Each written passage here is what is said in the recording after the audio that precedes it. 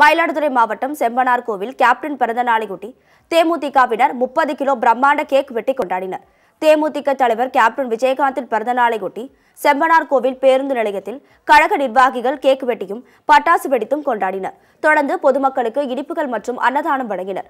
தேமுதிக பரசலூர் ஒன்றிய கவுன்சிலர் கிருஷ்ணன் தலைமை நடைபெற்ற இந்த நிகழ்வில் தலைமை பொதுக்குழு உறுப்பினர் ராஜா மாவட்ட மகளிர் அணி துணை செயலாளர் கோதை மாவட்ட கேப்டன் மன்ற துணை செயலாளர் மனோகரன் மாவட்ட மாணவர் அணி துணை செயலாளர் செல்வம் மாவட்ட மகளிர் அணி துணை செயலாளர் அஸ்மத் ஃபர்ஜானா ஒன்றிய அவைத் தலைவர்கள் பாஸ்கர் அர்ஜுனன் ஆகியோர் முன்னிலை வகித்தனர்.